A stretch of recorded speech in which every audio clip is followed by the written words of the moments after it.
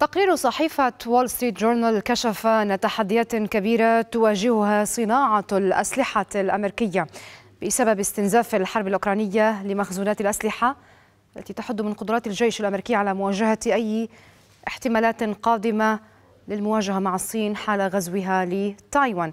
منذ بداية الحرب أصبحت واشنطن أكبر مورد للأسلحة إلى كييف بأكثر من 27 مليار دولار حتى وصلت المخزونات من بعض المعدات إلى الحد الأدنى من المستويات المطلوبة لسيناريوهات مواجهة مع الصين والتي ربما قد تنفذ خلال أسبوع واحد.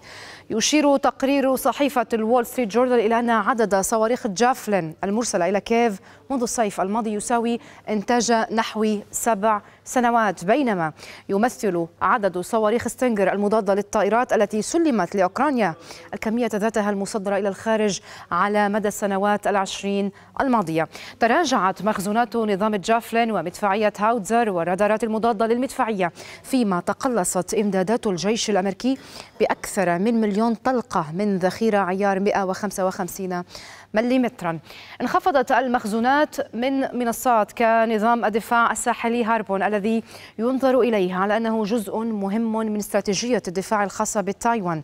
تعد معطيات تقرير وول ستريت جورنال اعترافا مرا بأن الجيش الأمريكي لن يكون مستعدا لخوض قتال طويل الأمد أو حتى توفير الدعم في نزاع يستغرق أشهرا أو سنوات وهو أمر يجب أن يثير في حد ذاته بعض الجدل في مؤسسة الأمن القومي الأمريكية حول أولويات الميزانية.